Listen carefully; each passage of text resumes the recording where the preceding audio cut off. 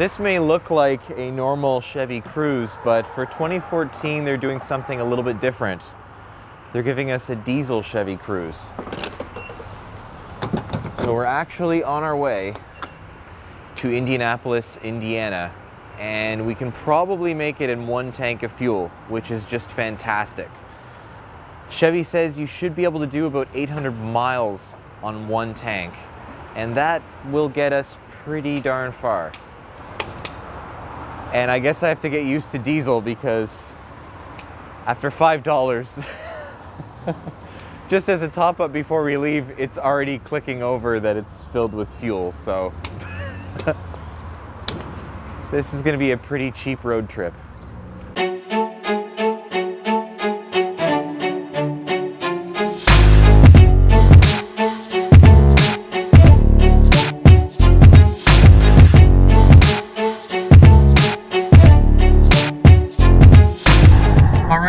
Been a few hours. We are now 430 kilometers into our trip to Indianapolis. Uh, our average speed, 104 kilometers an hour. Average fuel economy, 5.3 liters per 100K, which is incredible. And our gas gauge is showing just under a quarter tank used. So we have just under three quarters of a tank of diesel still in the car. So we've done 431 kilometers and it's down like that much.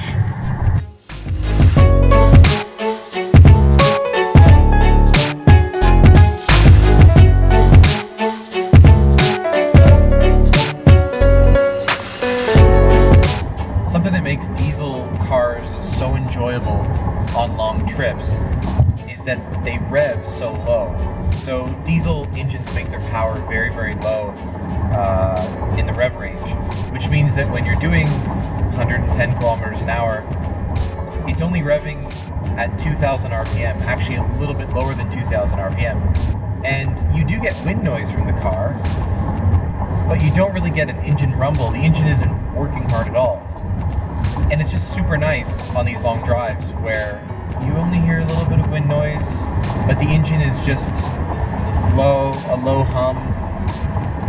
It's just nice and relaxing. It's very, very comforting, very enjoyable.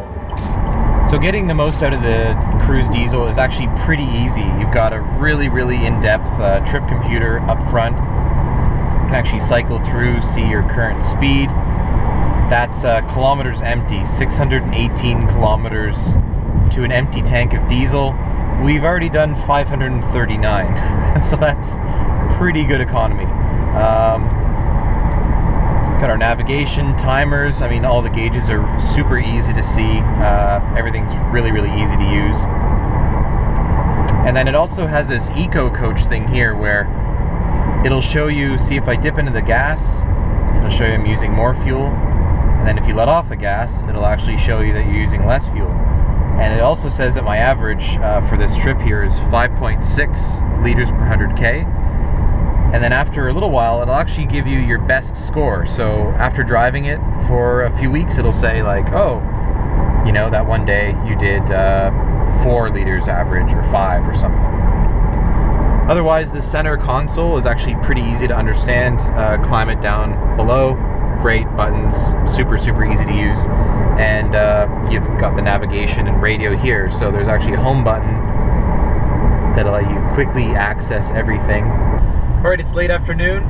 We've been taking our time getting to Indianapolis, and we've actually just ticked over 700 kilometers on this trip, and we're just under half a tank of diesel fuel. Again, averaging 5.2 liters per 100k, an average speed of just over 100. Um, this car has just been supremely comfortable. You can barely hear the engine. Uh, wind noise isn't too bad. It's just eating up the kilometers. We've had to stop like three or four times um, just to stretch our legs because this car could keep going without us. It's just amazing. Yeah, so we obviously made it to the 500 and it was a great race, but I guess the thing that was really interesting was just that the Cruze Diesel was, did exactly what it was supposed to. I mean, we got here in less than a tank, more than 850 kilometers. Rode nice, great on mileage, What else could you ask for?